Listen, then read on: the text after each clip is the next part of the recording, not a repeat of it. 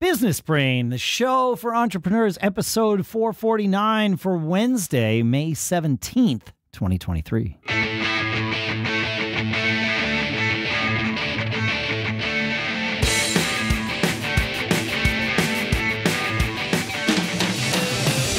Greetings, folks, and welcome to Business Brain, the show where we take all kinds of things in our lives and apply our business brains to them, run them through the business brain filter so that we get a different perspective and hopefully more value out of any of these things. Sponsors for this episode include found.com slash brain, which is business banking that tracks your expenses, even helps you save uh, the taxes that you need to do, and thinkific.com slash business brain, where you can get one month of Thinkific Plus for free. We'll talk more about those in depth in a little bit here. For now, here in Durham, New Hampshire, I'm Dave Hamilton. And for now, in California, I'm Shannon Jean. I like that brain filter uh, imagery. That would be a good T-shirt.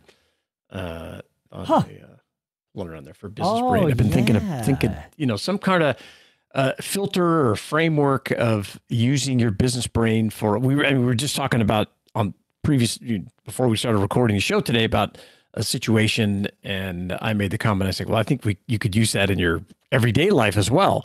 Uh, so it's. Mm-hmm. I think that's the big thing that pushed us into changing the name of the show is coming up with ways that impact you twenty four seven all around. Um, so the brain filter Yeah. thing is interesting. Yeah, your business brain gets to stay on, uh, even though it's not sometime between the hours of 9 a.m. and 5 p.m., right? Like, Yeah. In fact, we can't turn them off. It's sort of how it works. It's, yeah. it's impossible. It's Yeah, impossible. it's impossible.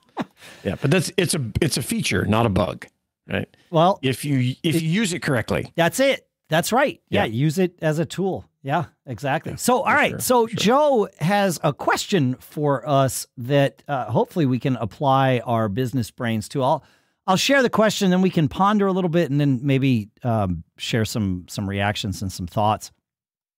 Joe says, uh, in fact, it's Joe from the Command Control Power podcast, one that I've been on. It's a great show.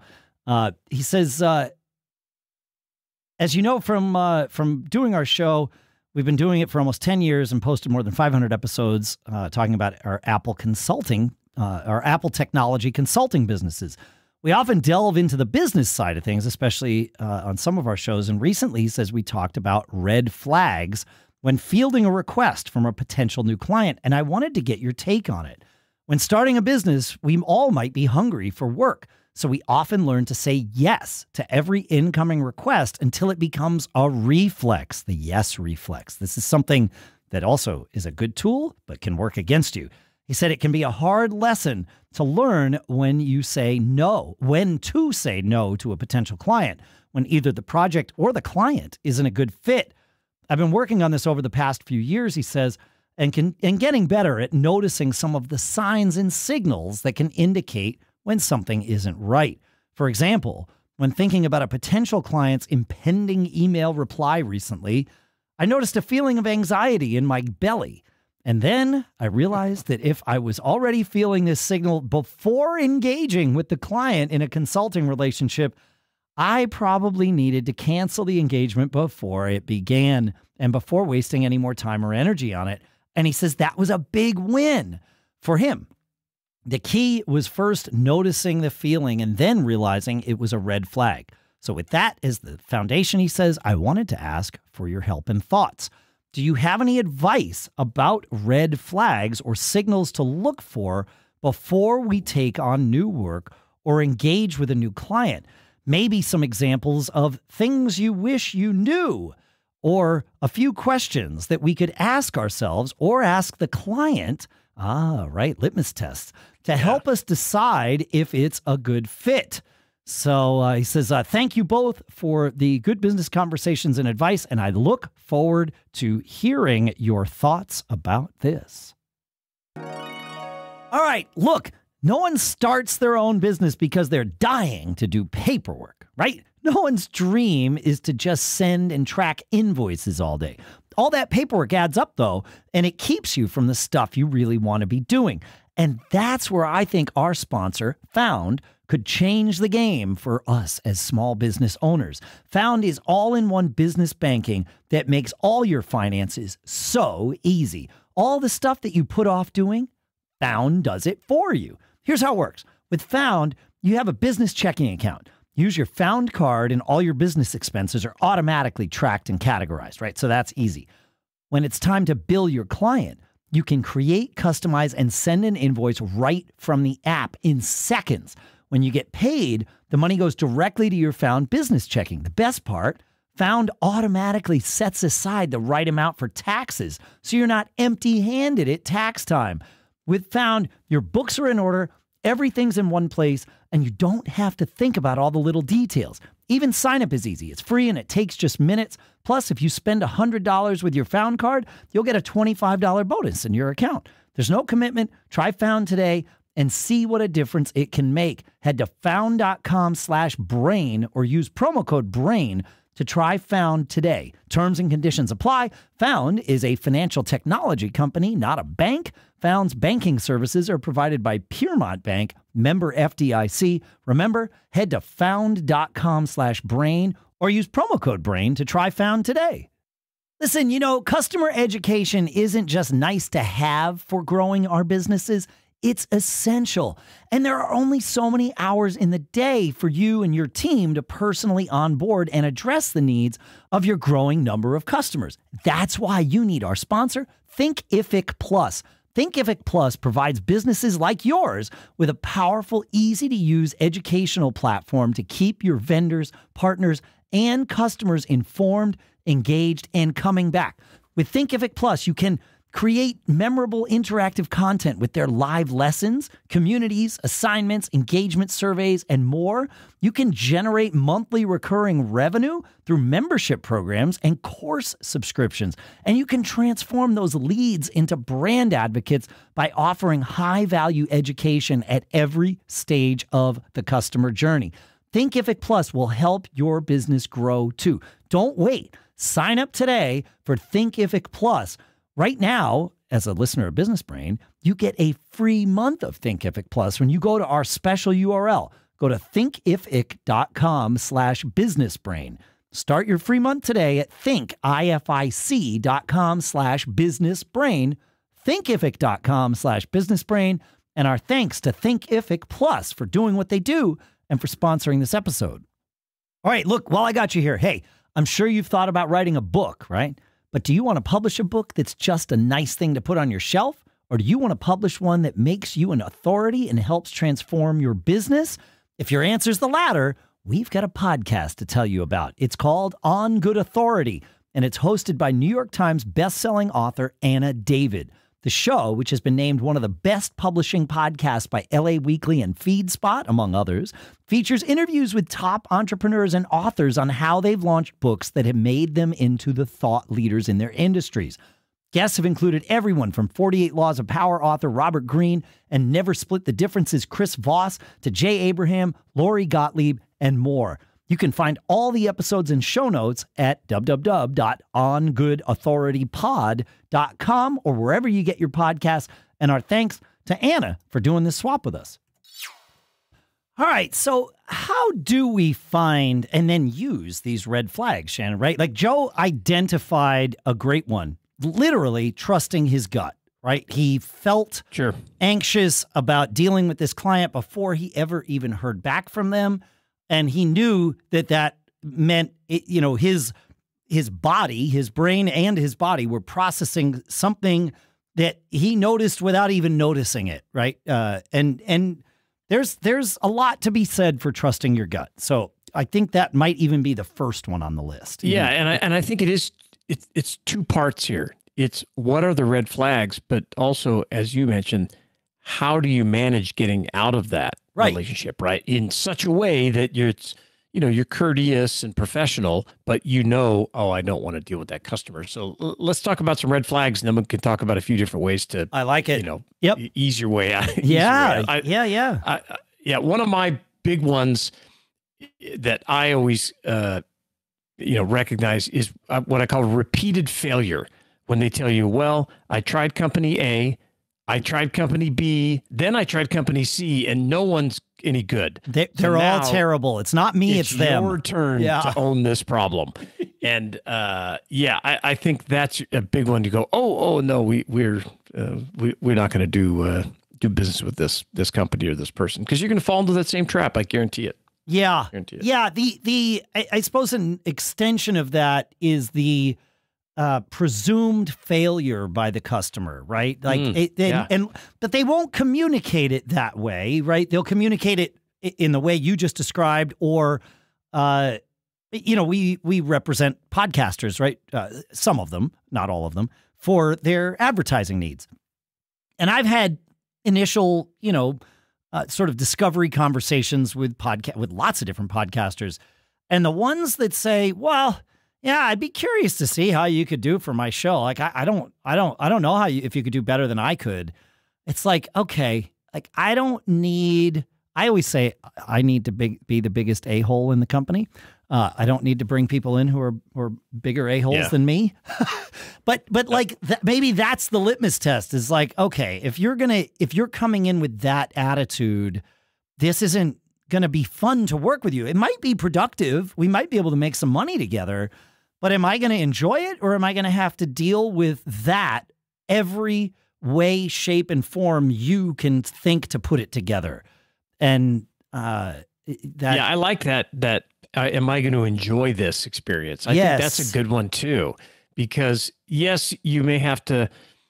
I mean, you're not going to you know fall in love with every client, no. and you're going to take on some projects and things because the the money makes sense. But are you going to enjoy either solving the problem yes uh, or you know working with the people maybe you don't enjoy that but you're like look i know we can fix this and and that'll be great i'll get a good sense of accomplishment and it'll yep. help our business that's yeah i guess that's that, true because i was going to say am i going to enjoy working with this customer is similar to what i and i know you've called it this too what i would call the beer test like would i want to go yep. have a beer with this person and that doesn't they don't necessarily have to pass the beer test just no. to be a customer that I enjoy working f- with, right? Like I might enjoy working with the company and like you said, to get a sense of accomplishment about solving whatever the issue is.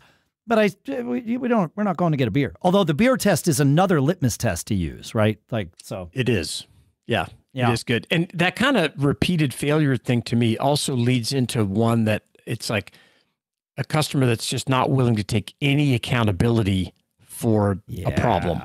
Yeah. It could be they they need to update their hardware but they don't want to hear that or mm-hmm. the software or you know perhaps their their systems or lack of systems or lack of procedures are causing those issues and you quickly find uh you know they don't they don't i guess what i'm trying to say they don't value what you're telling them and I think that's a huge red flag, and you you could wind up just beating your head up against the wall, and yep. you should extricate yourself as soon as possible from uh, those kinds of relationships. Right away, that's right. Well, yeah. and and to that end, you know, we talk about the working agreement being a great way to vet potential partners.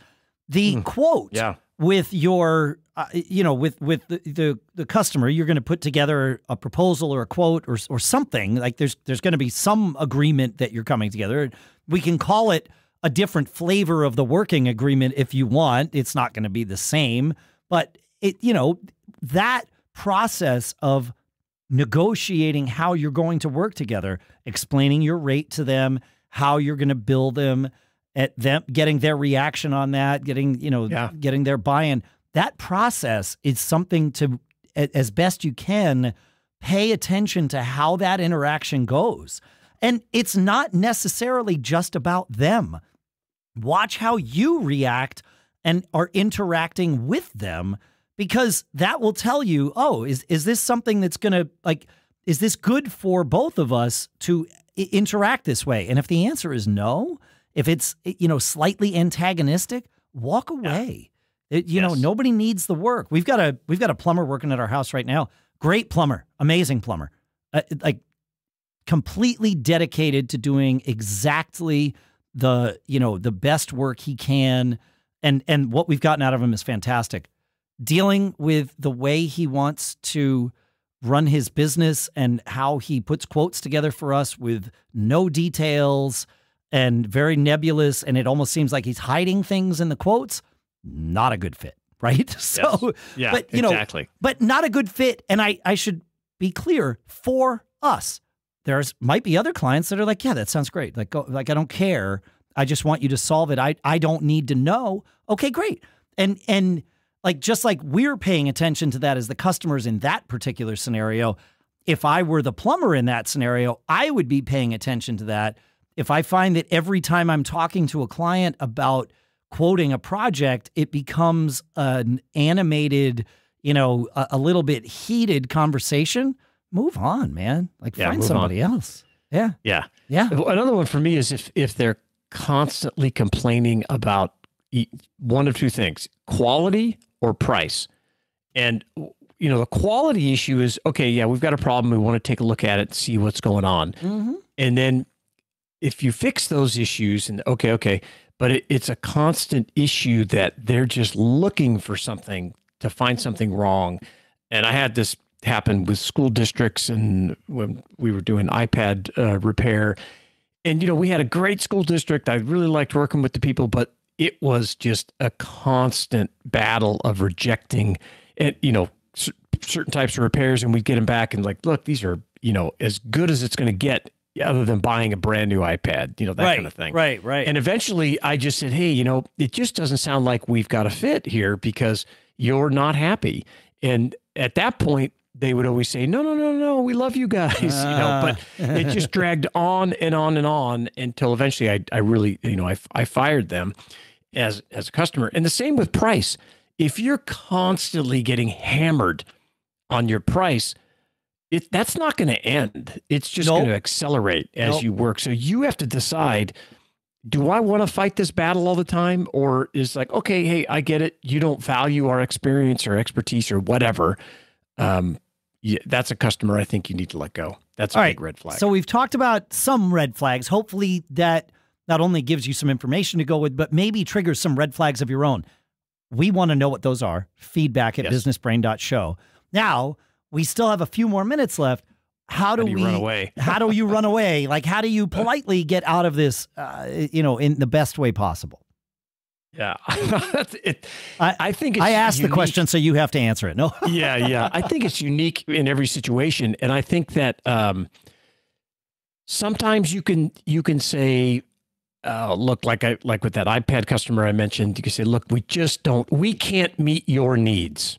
You know, it's it's that breakup thing where you say, "Look, it's not you, it's me." I always find it's better to just do that. Just take the hit. Say, "Oh, you know what? We're just not able to meet those specifications. You're not happy, so hey, you know, we're gonna we're gonna wind things down." Um, if you haven't that's one way. started, yeah, yeah, that's one yeah. way. If you haven't started like Joe, I think the right answer is, "Hey, I was looking at my calendar. I know we've been having this conversation. I realize I don't have uh, as we've dug into this, I realize you need more time than I predicted and th- and that's more time than I have. But if you'd like, I might be able to give you some names. And and this second part is only if you actually have people you want to refer because The like referral of death. yeah, when I was doing the kind of consulting that Joe was doing, I had another consultant who was a, a friend of mine, great guy, really talented consultant. All of my clients would have uh, vehemently objected working with this guy, and all of his clients would have vehemently objected working with me. He had his own style, I had my own style, and we served exactly the opposite types of clients. It was great. And he, he was good at customer service, just not in the way I do customer service. So there were times where it was like, oh, th- like th- I, this is the wrong person for me, but it's perfect for Ed.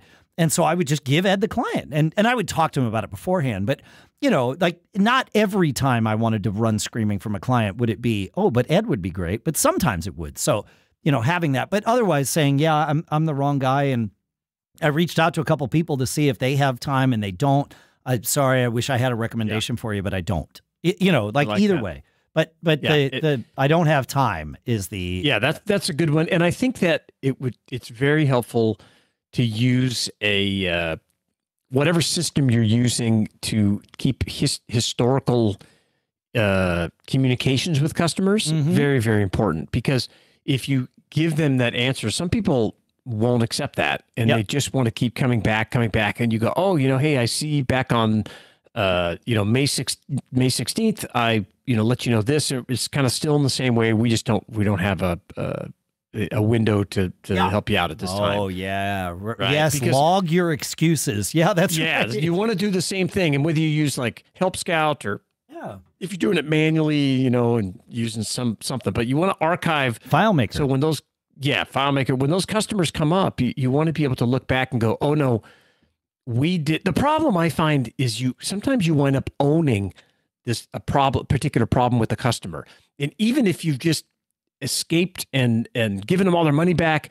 They, they will still just keep coming back to you, and you have to have some way to document for other people in your customer service department or sales department. Hey, this is this, what happened with this customer.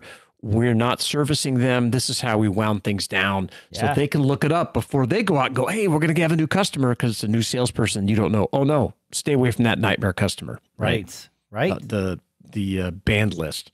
Yeah, the band. Yeah, the band. Right. No, we definitely we we've been known to make those lists at some of my companies over the years too. Yeah, yeah, yeah. But yeah, share your red flags. We'd love to to hear about them. Feedback at businessbrain.show. Um, there's a lot out there, and you know, I'm sure it's a very long list. So I'd love to hear from you. Yeah, no, this is we've only you know scratched the surface here. So yeah, feedback at businessbrain.show is what he said.